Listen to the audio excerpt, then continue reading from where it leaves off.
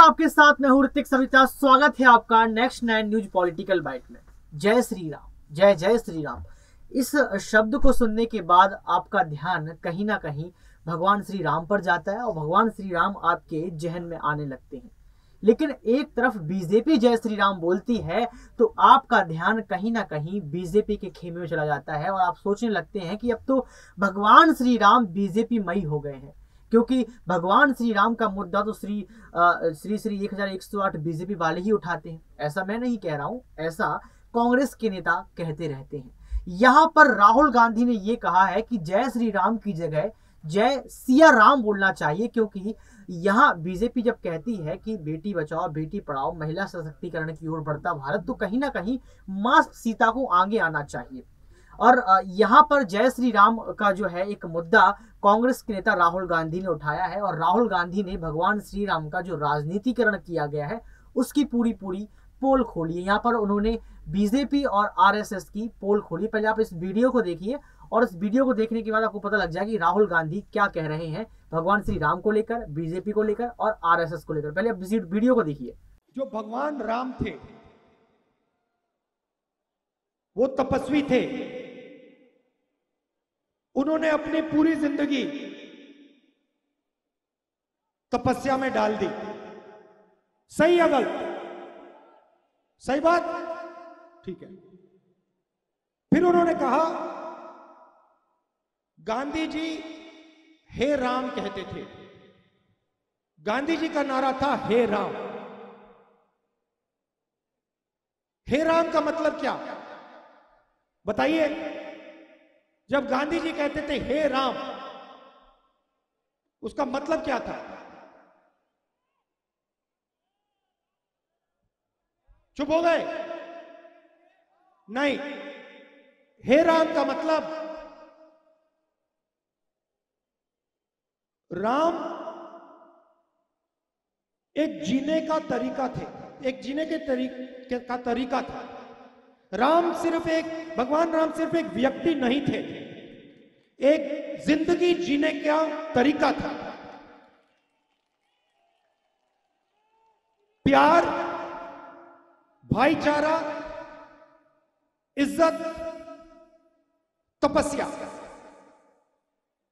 उन्होंने पूरी दुनिया को दिखाया। जीने का तरीका दिखाया। और गांधी जी जब हे राम कहते थे उनका मतलब था, जो भगवान राम है, वो भावना हमारे दिल में है और उसी भावना को लेकर हमें ज़िंदगी जीनी है। ये है हे राम। दूसरा नारा, फिर उन्होंने कहा, देखिए, एक नारा हे राम। सुनो सुनो डिस्टर्ब मत करो। एक नारा हे राम। मतलब जिस प्रकार से भगवान राम ने अपनी ज़िंदगी जी, जो उन्होंने तपस्या किया, जो, की, जो उन्होंने समाज के लिए काम किया, जो उन्होंने प्यार फैलाया, भाईचारा फैलाया,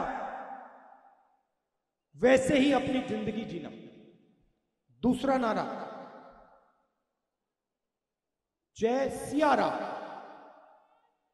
जय सियाराम अब जय सियाराम का मतलब क्या है? यह पंडित जी ने मुझे बताया सीखा हूँ मैं?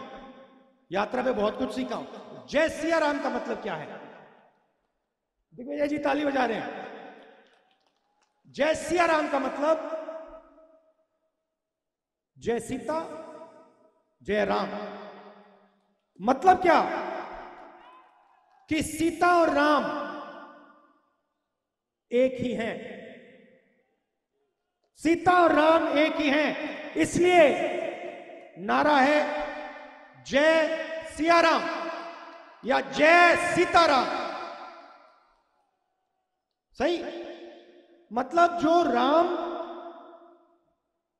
के जीने का तरीका था, जो उन्होंने सीता के लिए किया, भगवान राम ने सीता के लिए क्या किया? आप जानते नहीं हो क्या? क्या किया? जाके सीता की इज़्ज़त के लिए, सीता के लिए लड़े। सही? तो जब हम जय सिया राम कहते हैं, हम सीता की याद करते हैं और समाज में जो सीता की जगह होनी चाहिए, उसकी आदर करते हैं। सही? जय सियाराम या जय सीताराम। तीसरा नारा, जय श्री राम उसमें हम राम भगवान की जय करते हैं।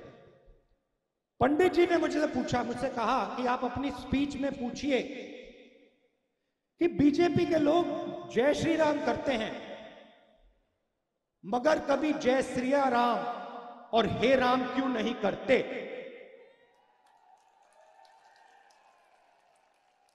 मुझे बहुत अच्छा लगा बहुत गहरी बात बोली। क्योंकि वो सबसे पहले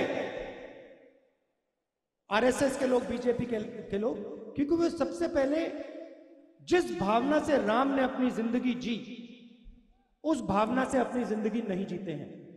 क्योंकि राम ने किसी को राम ने किसी के साथ अन्याय नहीं किया। राम ने समाज को जोड़ने का काम किया। राम ने सबको इज़्ज़त दी। भगवान राम ने किसानों को, मजदूरों को, व्यापारियों को सबकी मदद की। सही? ठीक है। तो जो उनकी भावना थी, जो उनका जीने का तरीका है, उसको आरएसएस के लोग और बीजेपी के लोग नहीं अपनाते। और तीसरा नारा, शायद सबसे ज़रूरी नारा वो सिया राम जय श्री राम तो कर ही नहीं सकते क्योंकि उनके संगठन में एक महिला नहीं है। तो वो जय सिया राम का संगठन ही नहीं है। क्योंकि उनके संगठन में महिला तो आ ही नहीं सकती, सीता तो आ ही नहीं सकती। सीता को तो बाहर कर दिया। अब ये बहुत गहरी बात मध्य प्रदेश के एक पंडित जी ने सड़क पे मुझे कही, कैसी लगी आपको? बढ़िया लगी। तो हमारे जो आरएसएस के मित्र हैं, मैं उनसे कहना चाहता हूँ, जय श्री राम ज़रूर, जय सिया राम और हे राम। तीनों का प्रयोग कीजिए और सीता जी का अपमान मत कीजिए। तो देखा आपने इस वीडियो? इस वीडियो को देखने के बाद आपको पता लग गया होगा कि हमारे देश में किस तरीके से भगवान श्री राम को राजनीतिकरण में तब्दील कर दिया गया है। भगवान श्री राम का नाम लेते ही हमारा ध्यान केंद्रित कहीं ना कहीं बीजेपी पर हो जाता है, कहीं ना कहीं राम मंदिर पर हो जाता है और योगी बाबा हमारे जहन में आने लगते हैं। और राहुल गांधी साफ़ तौर पर यह कह रहे हैं कि महात्मा गांधी भी हे राम बोलते थे। और ये उनका मतलब है, राहुल गांधी कहना चाहते हैं कि जो भगवान श्री राम है, वो महापुरुष हैं, वो कहीं ना कहीं हमारे पुरुषोत्तम श्री राम है, आदर्श पुरुष है और उनसे हमें सीखना चाहिए कि हम कैसे ज़िंदगी जिए। उन्होंने हमें ज़िंदगी जीने का सलीका सिखाया, तरीका सिखाया, लेकिन कहीं ना कहीं भगवान श्री राम को बीजेपी उपयोग कर रही है भगवान श्री राम के नाम से ही वोट मांगती है और कहीं ना कहीं भगवान श्री राम का राजनीतिकरण कर दिया गया है। भगवान श्री राम को लेकर आप क्या सोचते हैं? क्या राहुल गांधी सही बोल रहे हैं? या फिर बीजेपी सही बोलती है? क्या भगवान श्री राम का सच में राजनीतिकरण हो गया है? क्या भगवान श्री राम अब सिर्फ़ राजनीति और बीजेपी में नज़र आएँगे? आप क्या सोचते हैं? कमेंट बॉक्स में ज़रूर बताएँ। आज के लिए सिर्फ़ इतना ही। देखते रहिए next nine news political byte.